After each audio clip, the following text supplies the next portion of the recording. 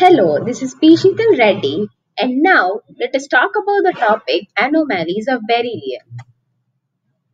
So, beryllium is the fourth element in the periodic table and found among group 2 alkaline earth metals. It is usually silvery white and lustrous and used for alloying. Scientists have found out beryllium shows a different behavior than expected from group 2 elements it seems it forms covalent compounds while others form ionic bond to form compounds. It is also the only element with coordination number 4 as others exhibit up to 6.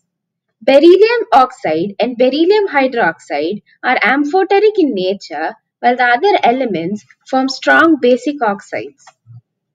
And that is because of its small size which results in concentration of charges in a small area, in turn increasing its polarizing power.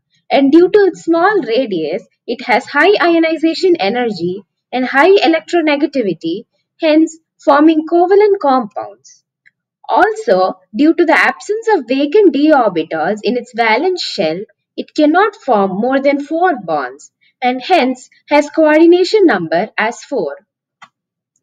Surprisingly, it is found that Beryllium and aluminium that is present diagonally in the periodic table exhibits a property called diagonal relationship where both of them are found to show similarities and resemblance because beryllium's charge by radius ratio is more or less equal to that of aluminium.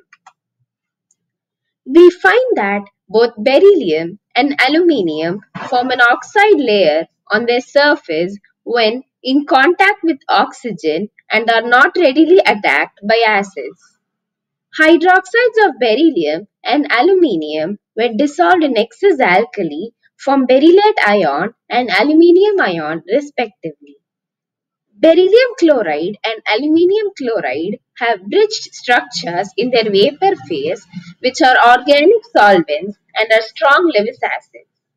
Beryllium and aluminium ions have strong tendency to form complexes like uh, beryllium tetrafluoride, hexafluoroaluminate ion, etc.